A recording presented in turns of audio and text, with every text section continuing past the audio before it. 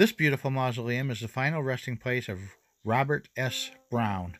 With the lions out front and the beautiful ironwork on the doors, it is stunning. Mr. Brown was the founder of the Acme White Lead Paint Company in Detroit.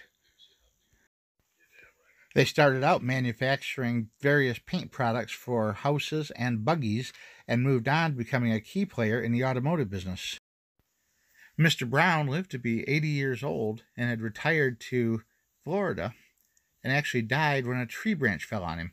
He maintained an 300 acre citrus grove in Florida.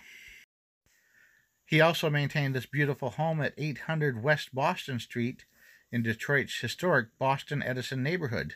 And at the time, his neighbors would have included all of the key players in Detroit society, including for a time Henry Ford, Sebastian Kresge, and many, many others. This mausoleum is really one of the most beautifully designed here in its simplicity and elegance. The lion sculptures out front are the probably the finest artwork I've ever seen in a uh, cemetery statue made out of bronze like this. You look at the matching lions, little flower trays in front of them for plantings. They're set on a stone pedestal base.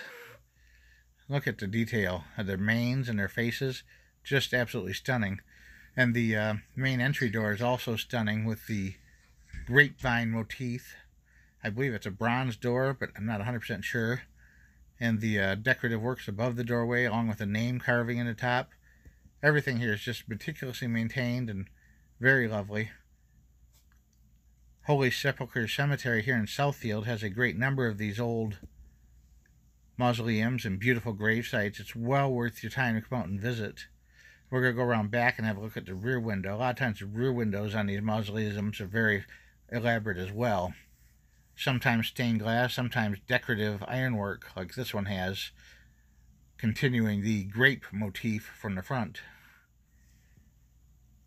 Well worth your time to stop in and see this.